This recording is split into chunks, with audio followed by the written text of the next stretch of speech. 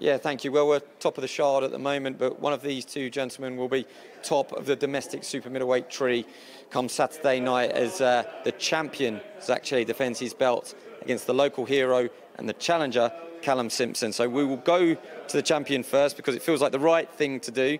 Um, a little bit different start to fight week, uh, a media lunch and a chance for you just to cast your eyes over Callum Simpson. Uh, how confident are you as you stand here now that yes, you have to go to enemy territory. Yes, you'll be public enemy number one, but uh, those Barnsley fans will be applauding you on your way out as you return home with your belts.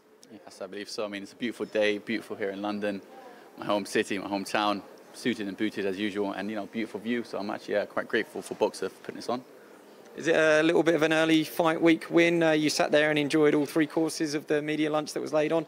Don't think Callum's going to be too happy, but he's going to eat when he gets home, I think. He'll eat when he gets home, but me, I'll make weight perfectly, comfortably, um, train hard, I'm diligent, so I can eat what I want.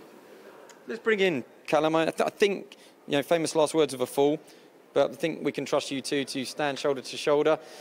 Big opportunity for you, but it is also a big step up in terms of quality of what you've been used to. Is this the right step, or is this a step too far? I'm sure Zak will say. I one way to find out, mate. You know, I've been asking uh, for this fight for, for, a while. You know, I put myself into a position that to make myself mandatory for the British the British title fight, and you know, I've asked to get it at Barnsley, and um, Boxxer and Sky shows how much they believe in me, and obviously it looks like they, they believe I'm going to win to put the to make a take take a big risk and put the show on at you know my football stadium. So yeah, I'm looking forward to it, and I, I believe that I'm the one. That I'm going to be the next standout so, uh, standout fight in the super middleweight division in, in, in Great Britain, and only want me to prove it, and I'll be proving it on Saturday night. It's limited capacity, but it was an instant sellout.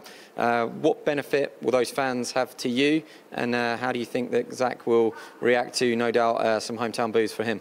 Yeah, I think it sold out straight away, but I think Zak's got quite a lot of uh, spare tickets still that he's not managed to sell. Um, he's only sold about three. So yeah, if anyone wants tickets, message Jack. He's got plenty left. Um, the, the, fan, the fans obviously great to have the fans there, great, great support there. But it's only me and Chelli in the ring at the end of the day. They can't, they can't get in there and fight for me. Um, but yeah, it's just going to be a special night all round. Great atmosphere. It's a media lunch. Has he bitten off more than he can chew? Excuse the pun, Zak. Of course, um, he's going to find out on Saturday night. And so will all his 7,000 Barnsley fans. And I will have a, a few people there. You'll be surprised to see how many there are. How do you think you'll be received up there? They're going to love me after the fight. Just as Rocky raised his hand when he beat that Russian, um, it'll be the same here. What sort of fight are you expecting from him? And um, we know that he sat ringside when you beat Jack Cullen, and I think, in Callum's words, was he, he wasn't too worried he would have beaten both of you on the same night. Um, do you think that people were looking past you, perhaps in the promotional sense, and, and Callum as well? Most definitely, he's in for a surprise. Um, he hasn't never faced anyone like me, and I'm in there for a night of pain. When you bring a night of pain, Callum. Is there any truth in that? we'll find out. We'll find out. Saturday might be pain for him, but you know, obviously, like I say, it's a step up for me, and um, I think that Zak's found his level now. Um, I don't think I was the only one that were very underwhelmed by that Cullen fight. Um, but you know, he's a solid British British. Uh, well, he's a, he's a British champion. You know, you can't take can't, can't take anything away from him, and um, you know, I've got, got to give him the respect for that. But you know, like I want to, I need to prove myself, and this is what I want to do. So you know, I've been asking for the fight. I've finally got the fight now, and it's down to me to down to me to deliver. Right, chance for both of you to make your early fight week final predictions. Zak and still, those belts are staying with you. Inshallah, and still, and I will knock you out, Callum Simpson. Callum, your response to that, your prediction. I'm the, I'm the, I'm the new, I'm the new. Okay, well, I'll invite you to do a, uh, a head-to-head. Let's just. Uh, keep the fireworks under wraps until Saturday night. Live on Sky Sports, Zak Chelli from Fulham, the champion.